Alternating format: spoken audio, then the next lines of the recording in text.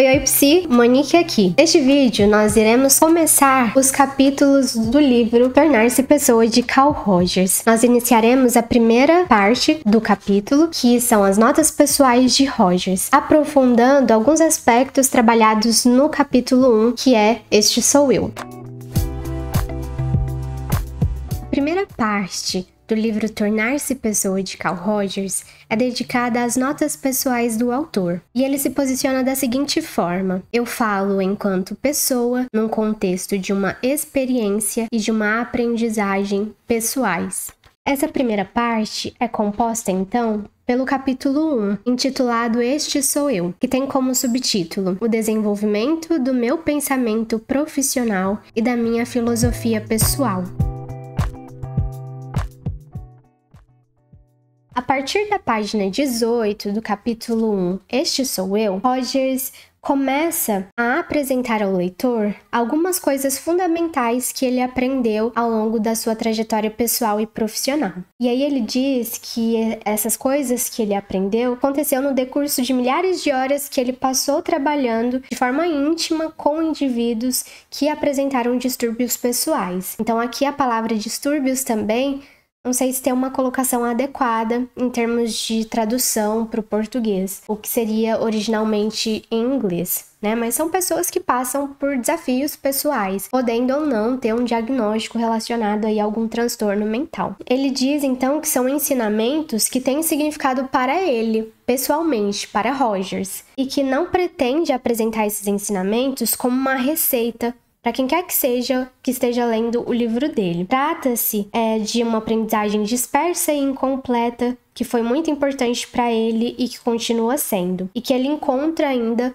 outros tantos novos ensinamentos ele diz na página 19 que também acontece com frequência, diante de uma nova situação, não saber como aplicar aquilo que ele aprendeu. É interessante ele se posicionar dessa forma, que são aprendizados, mas nem sempre a gente consegue transferir aquilo que a gente sabe para uma nova situação. Então, essas experiências não estão cristalizadas e todas têm para ele algum tipo de significado. Então, ele diz aqui, na página 19, que vai introduzir cada um desses ensinamentos, que a experiência, que ele aprendeu com a experiência, a partir de uma frase ou proposição, que indica em parte o seu significado pessoal. Então, basicamente, Rogers está, está colocando aqui, se a gente pode pensar em hipóteses de trabalho é, mas como ele já aprendeu, a gente pode também colocar que são alguns valores pelos quais ele se orienta na sua atuação profissional. Então, o primeiro desses ensinamentos, ele traz a partir da seguinte frase: Nas minhas relações com as pessoas,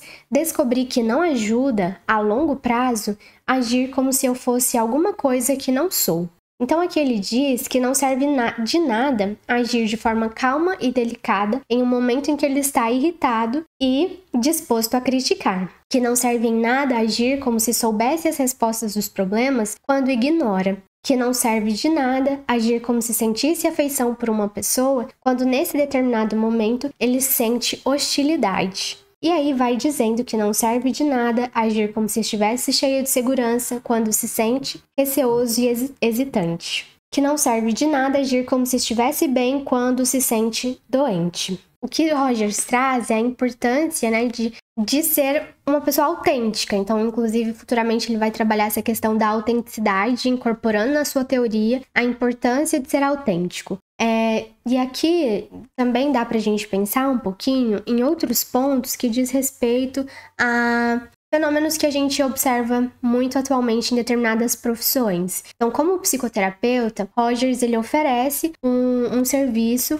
relacionado à assistência, né? assistência, cuidados de saúde mental, e nós vemos em pesquisas mais atuais sobre fenômenos que acabam acometendo pessoas que atuam nessas áreas. Então, sejam enfermeiros, médicos, técnicos de enfermagem, até mesmo pessoas que trabalham com o público em outros contextos, mas que é a questão de muitas vezes ter que transparecer aquilo que não está sentindo. Que na área de psicologia organizacional nós chamamos de trabalho emocional. Ou seja, se eu sinto raiva, porque um cliente foi agressivo comigo, ao invés de tratá-lo de forma agressiva, mostrando a minha raiva, eu preciso suprimir aquela emoção e disfarçar, colocando um sorriso no rosto, como se aquilo não tivesse me afetado.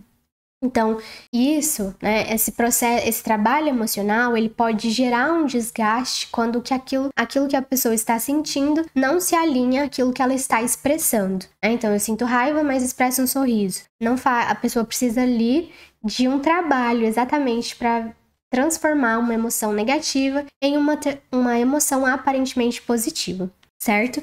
E está na base, por exemplo, é, do, da síndrome de burnout. Então, quando nós falamos de burnout, nós falamos de três dimensões que compõem. E uma dessas dimensões é também ali a, o desgaste emocional. Então a pessoa ela já usou tanto as emoções, já esgotou esses recursos emocionais a ponto de começar a se agravar, né, e a, a desenvolver um tipo de transtorno relacionado ao trabalho. Então, Rogers diz, né? E inclusive as pesquisas se alinham a esse achado, no sentido de que existem outras estratégias de regular as emoções que não provoquem tanto mal-estar para o indivíduo. Né? Expressão autêntica talvez não seja possível, mas existem outras. Se distrair, selecionar situações e tantas outras. Ou seja, a gente precisa é, fazer com que essa dissonância cognitiva, aquilo que eu penso, daquilo que eu sinto, são diferentes, que elas possam entrar em consonância de alguma forma que seja saudável para o indivíduo. E no processo de psicoterapia, isso é fundamental.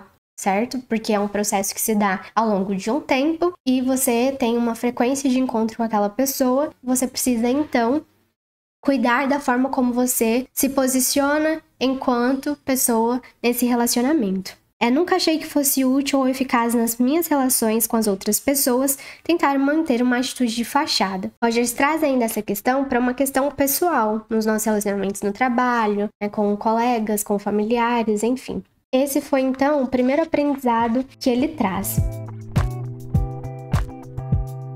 O segundo aprendizado é descobrir que sou mais, efica mais eficaz quando posso ouvir a mim mesmo, aceitando-me e posso ser eu mesmo. Uma vez que ele entende que ele precisa se posicionar de forma autêntica nas relações que ele estabelece com outras pessoas, ele precisa então aceitar que nem sempre ele vai se posicionar da melhor forma como ele gostaria, que ele precisa aceitar isso também, porque ele está num relacionamento e em um relacionamento as pessoas nos despertam diferentes emoções, crenças, percepções e impressões. Então, quando ele é capaz de se ouvir, de se aceitar, ele consegue ser ele mesmo, porque ele não precisa disfarçar aquilo que ele está vivenciando. Então ele se torna mais capaz de ouvir a si mesmo e ele sabe melhor do que antigamente o que ele está sentindo em um dado momento. Então ele tem a impressão de se tornar mais capaz de se deixar ser quem é quando ele passa a se aceitar. E aí ele traz isso como um paradoxo, né? Que é algo que também é muito emblemático quando nós estudamos a teoria de Rogers, que é o curioso paradoxo de só quando eu me aceito eu consigo então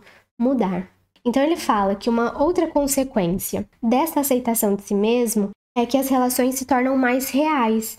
Elas têm caráter de serem vitais e significativas, que eles se se torna mais apto para aceitar as reações que a atitude dele provoca e a aceitar a alteração da experiência e dos sentimentos. Então é por isso que ele considera eficaz permitir-se ser o que é nas suas atitudes. É, ele se permite então saber quando deseja moldar ou manipular as pessoas e reconhecer isso enquanto um fato nele mesmo e ele ainda deseja ser capaz de aceitar esses sentimentos como aceita os sentimentos de, de, entusiasmo, de interesse, de tolerância, de bondade, de compreensão, que também são partes reais dele. Então, se você assistiu o filme divertidamente, é o segundo, filme, essa parte ela remete muito àquilo que o filme traz, que é a questão. É fácil lidar com as emoções e com os sentimentos positivos, agradáveis. O difícil é lidar com aqueles que são desagradáveis e desafiadores. Mas quando a, a, personagem, a protagonista do filme Divertidamente, entende que tanto as experiências positivas quanto negativas associadas a essas emoções,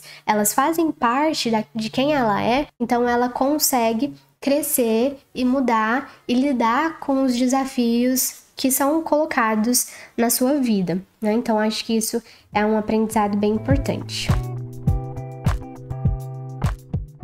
Uma outra aprendizagem que Rogers traz na página 21 é de que atribuo um enorme valor ao fato de poder me permitir compreender uma outra pessoa. O que, que, ele quer dizer com isso? Ele diz que pode parecer um pouco estranha essa afirmação, mas ele traz o seguinte questionamento: será necessário permitir a si mesmo compreender outra pessoa? E ele responde que pensa que sim, porque a primeira reação que nós temos quando alguém nos conta algo é de fazer uma avaliação imediata. É mais um, ju um juízo do que uma tentativa de compreensão. Então, quando alguém exprime um sentimento, uma atitude ou uma opinião, a nossa tendência mais imediata é de sentir que algo está certo, que é uma besteira, que não é normal, que não tem sentido, que não está certo, que não fica bem. Então, raramente, segundo Rogers, nós nos permitimos compreender precisamente o que significa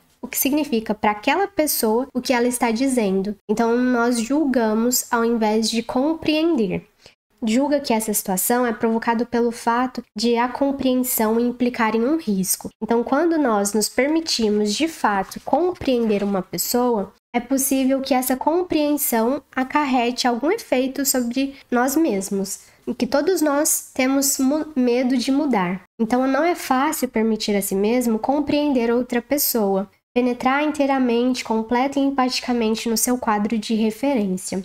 Mas que compreender, na perspectiva de Rogers, é uma experiência enriquecedora. Então, quando ele trabalha com seus clientes, ele verifica que compreender, sentir as atitudes de um indivíduo, como aquela pessoa vivencia, experiencia a sua própria vida, os seus desafios, acaba enriquecendo enquanto pessoa, que vão modificando, tornando diferente e mais sensível a essas diferenças, né? Ele diz que talvez o que mais importa é que a compreensão dessas pessoas permite a elas se modificarem. É quando um cliente chega e você aceita, você compre, se permite compreender aquele cliente, você passa a não julgá-lo, mas a tentar estabelecer esse vínculo a partir da empatia com a situação que aquela pessoa vivencia. Então, é, compreender uma pessoa é um, uma habilidade importante para se estabelecer esse próprio vínculo de trabalho, esse vínculo, essa aliança terapêutica. Tanto que a abordagem do Rogers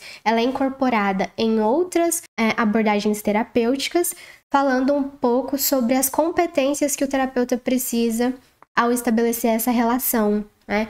A aceitação, a empatia, esse calor humano que é de reconhecer né, e espelhar muitas vezes essas emoções que a pessoa traz e não de julgar a pessoa, porque ela está ali em um processo, em uma situação de vulnerabilidade, confiando no profissional de que ela tenha a segurança e a aceitação de que ela será ouvida para que ela possa mudar aquilo que tem sido o problema dela. Então, o julgamento, ele afasta. Então, quando uma pessoa se sente julgada, a gente percebe isso no nosso cotidiano, nos nossos relacionamentos pessoais. Como que as pessoas se sentem quando elas são julgadas? É, elas sentem emoções desagradáveis, né? Elas sentem vergonha, elas sentem culpa, e isso vai fazendo com que, ao invés de nos aproximarmos, nós nos afastamos, é, afastamos essas pessoas de nós. Então é possível que essa pessoa cancele a próxima sessão ou que ela pare de ir à psicoterapia. Então é por isso que as competências do, do terapeuta são fundamentais para que essa para que a pessoa sinta confiança no processo e para que a aliança terapêutica se, se estabeleça.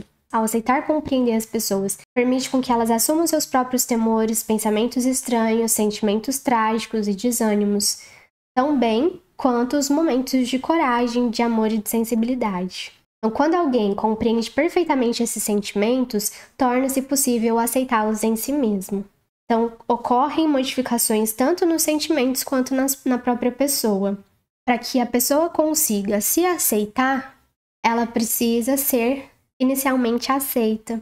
Né? Acho que isso é interessante, porque assim ela consegue aprender a importância desse processo de aceitação, consequentemente, se posicionar de forma mais autêntica e empática nas suas relações, porque ela vai entender que ela consegue aceitar é, aquilo que não é tão agradável a ela em si mesmo e, consequentemente, ao olhar para outra pessoa, consegue aceitar que a outra pessoa também tem dificuldades e problemas.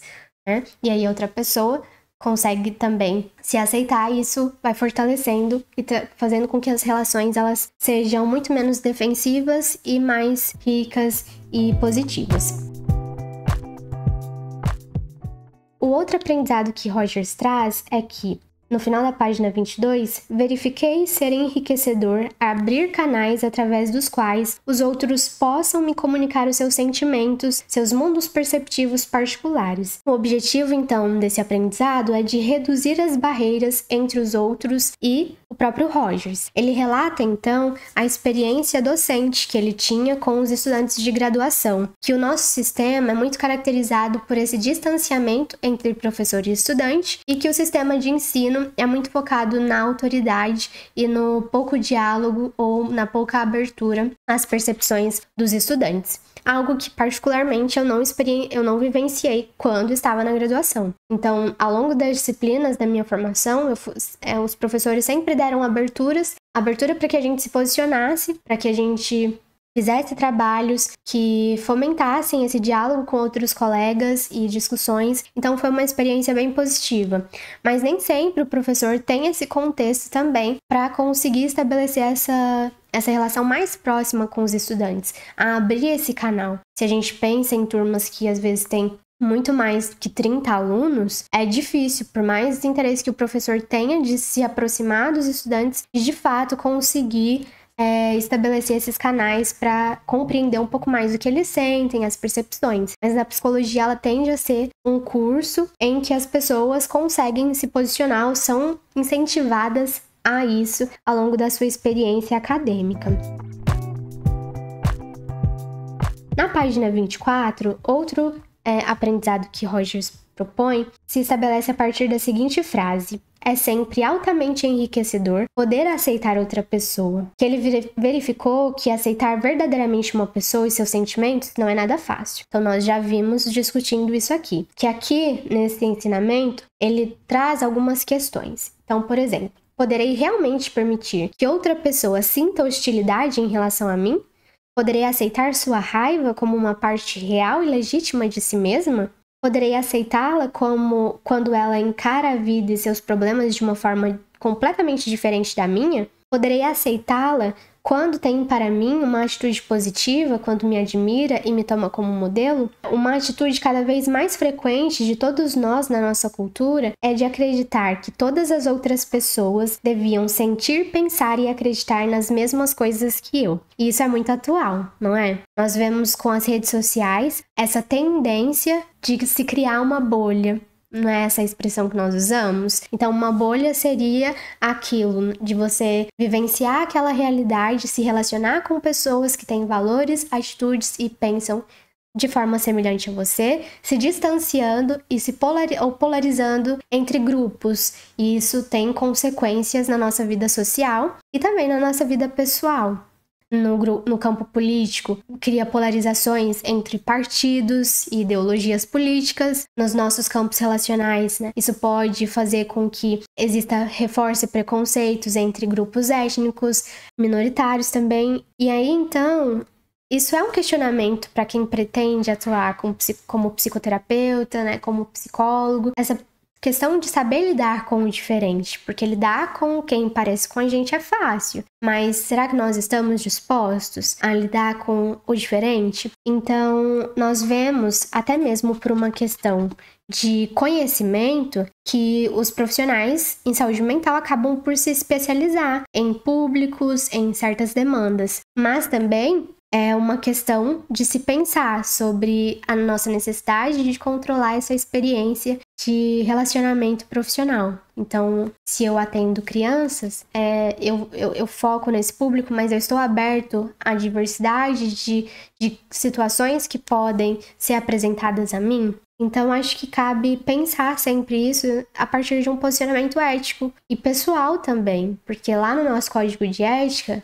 nos diz que é importante a gente assumir atividades para as quais a gente esteja pessoal e profissionalmente habilitados para exercê-las. Então, é importante tanto quem está iniciando, mas quem já está na prática profissional, de também criar uma rede de apoio, ter supervisão de casos, né, de estudos de casos, de ter essa rede para poder ter uma visão de como tem conduzido esse processo e de pensar nesse ensinamento que Rogers propõe. Um outro ensinamento na página 25 é posto a partir da seguinte afirmação: Quanto mais aberto estou às realidades em mim e nos outros, menos me vejo procurando a todo custo remediar as coisas. Então, no processo terapêutico, que é o foco que o Rogers traz para o seu livro, a partir da sua experiência, uma pessoa ela busca a psicoterapia porque está vivenciando algum tipo de problema, seja um problema em termos de transtorno mental, ou seja, problemas relacionais no cotidiano, ou problemas em relação a si mesma.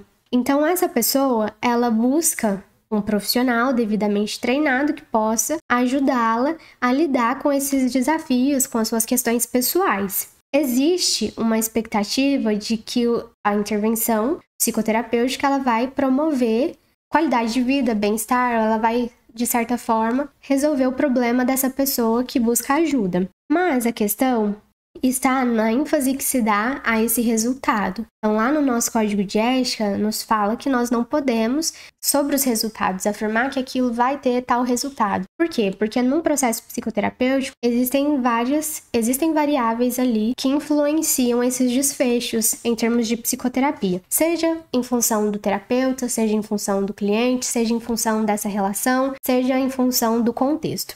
Enfim, são várias as variáveis que podem interferir nos resultados desse processo. Mas cabe aqui então que o, profissional ele comece a pensar na, na sua necessidade de remediar situações do seu cliente.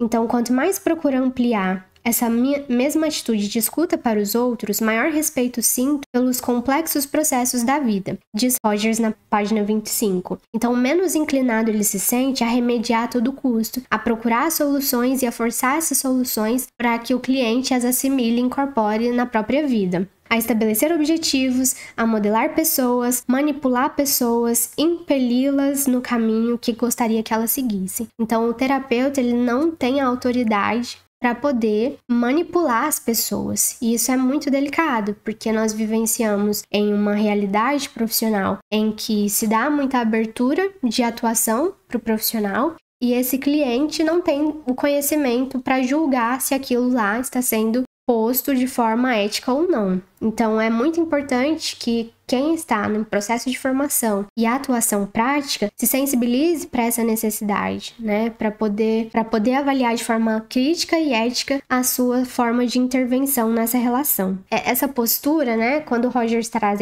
esse ensinamento, ele diz, né, então qual é o sentido de atuar como psicoterapeuta se não for para mudar, moldar, para para remediar, para estabelecer objetivos, para manipular as pessoas. Então, ele traz questões, né?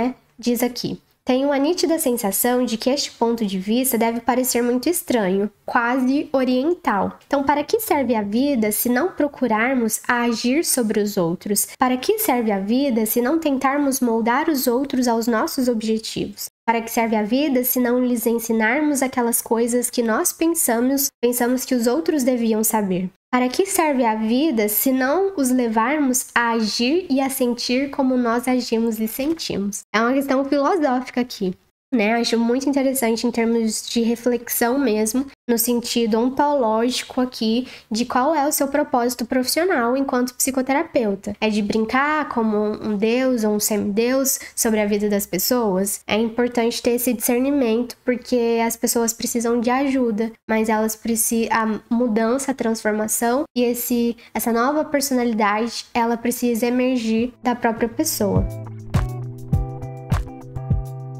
Dando seguimento então ao capítulo 1, Notas Pessoais de Rogers, mais especificamente aos ensinamentos que ele vem trazendo a respeito da sua prática profissional, na página 26 ele nos coloca outro aprendizado que ele teve na sua trajetória, exposto a partir da seguinte afirmação: Posso confiar na minha experiência. Então ele traz a importância de se valorizar a experiência, as situações que a gente vivencia com os clientes com, e no nosso dia a dia. Ele, ele diz o seguinte: quando sinto que uma atividade é boa e que vale a pena prossegui-la, devo prossegui-la. Em outras palavras, aprendi que a minha apreciação organísmica, entre aspas, total de uma situação é mais digna de confiança do que o meu intelecto. Ou seja, seria um pouco dessa questão da intuição, né, desse sexto sentido de você se orientar por aquilo que você, pela sua sensação de que aquilo vai ser positivo para sua para sua experiência, para sua vivência. Ele diz que ele nunca se lamentou seguir as direções que ele sentia que seriam boas para ele e que é importante então confiar cada vez mais profundamente nas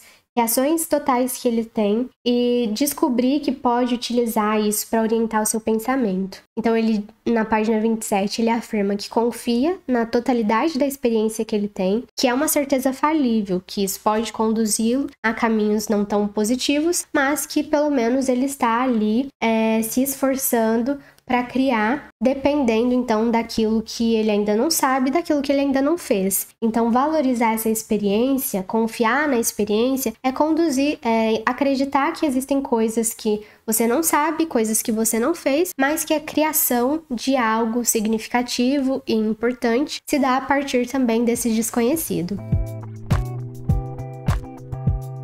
E aí na página 27, ele traz outro corolário, expressa da seguinte forma: a avaliação dos outros não me serve de guia. Então, ao longo da sua experiência profissional, Rogers nos traz que as suas ideias, ao serem introduzidas à comunidade científica, à comunidade de profissionais, foi, foram duramente criticadas, que acreditavam que o que ele tinha criado e desenvolvido era algo muito, era algo muito superficial e perigoso essa proposta de terapia e de que, aos olhos de alguns, ele era visto como um impostor. Então, ele se preocupava tanto com essas críticas que o colocavam, de certa forma, no fundo do poço, mas ele, ele também se preocupava com os elogios que eram muito, que eram excessivos na sua perspectiva. Então, que é, a partir disso, ele conseguiu aprender que ele só poderia confiar em apenas uma pessoa, que ele pode saber que procede com honestidade, com aplicação, franqueza e com rigor. É, e saber de fato que aquilo que faz é algo falso, defensível e fútil. E que essa pessoa que ele pode confiar é somente nele mesmo. Interessante, né? Achei sensacional essa, essa passagem de Rogers.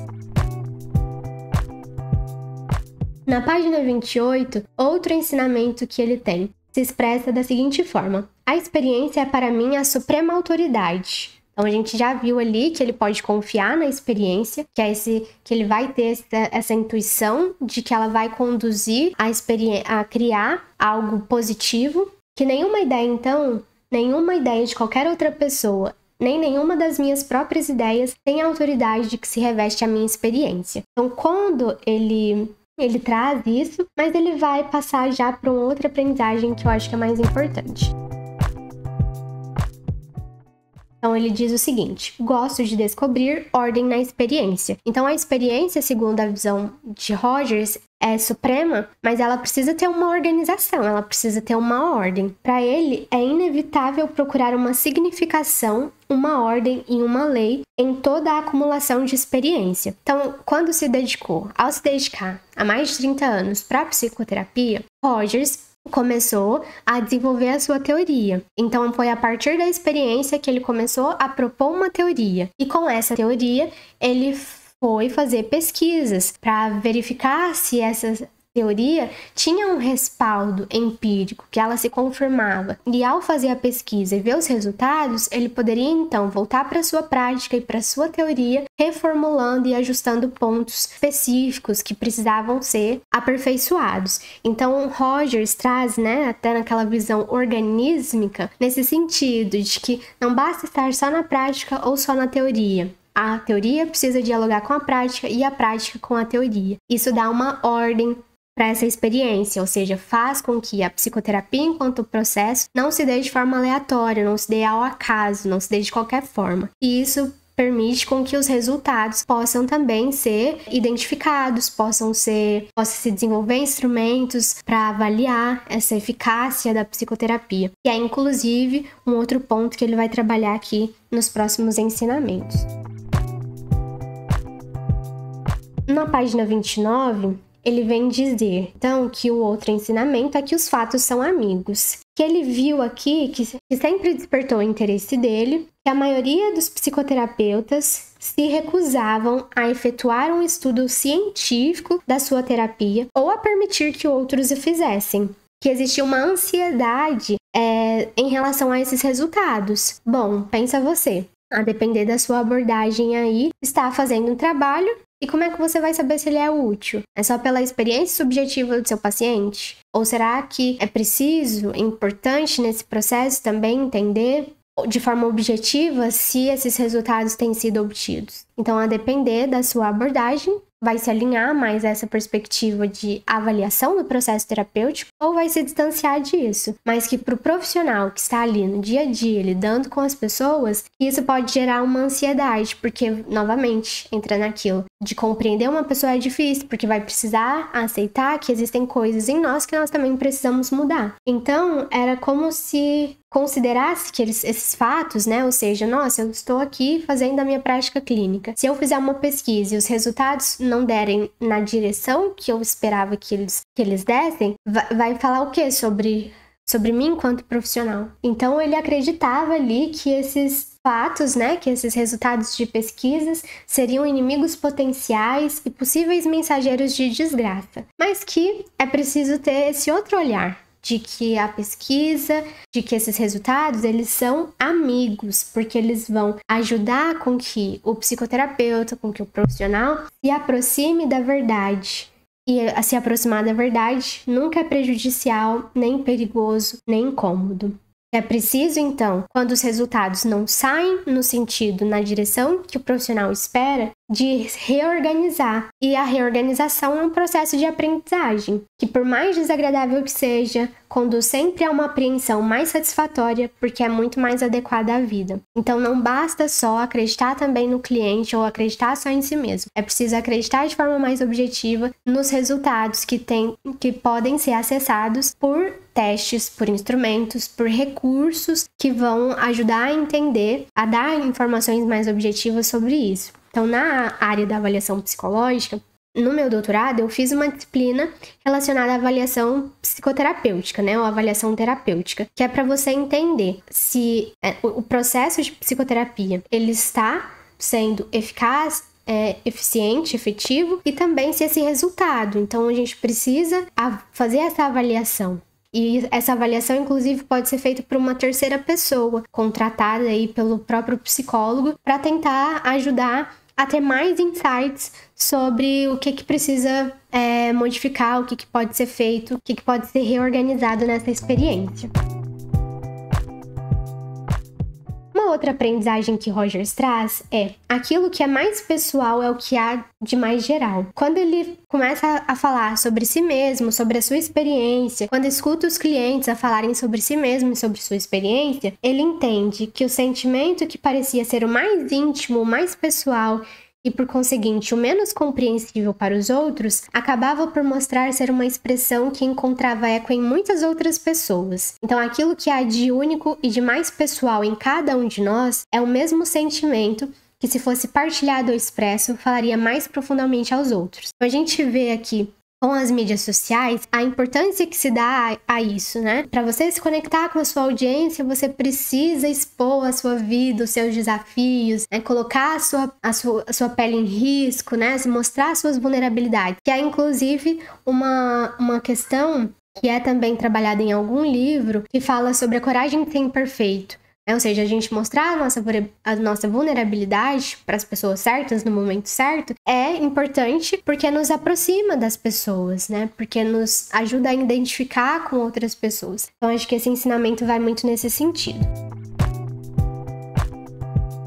Na página 31, Rogers traz como um dos seus últimos é, ensinamentos a seguinte frase: a experiência mostrou-me que as pessoas têm fundamentalmente uma orientação positiva. Então, ao buscar uma ajuda profissional para lidar com seus problemas pessoais, as pessoas em psicoterapia, elas têm ali né, quando, se quando expressam seus sentimentos, quando se sentem aceitas, é quando o psicoterapeuta consegue se distanciar ali daquela pessoa para poder ter empatia por ela, ele, ele consegue enxergar que as pessoas vão se orientar em determinadas direções e que essas direções podem ser expressas por palavras como positiva, construtiva, tendente à autorrealização, progredindo para a maturidade e para a socialização. Então, quanto mais o indivíduo é compreendido e aceito, maior sua tendência para abandonar as falsas defesas que empregou para enfrentar a vida, maior sua tendência para se mover para frente,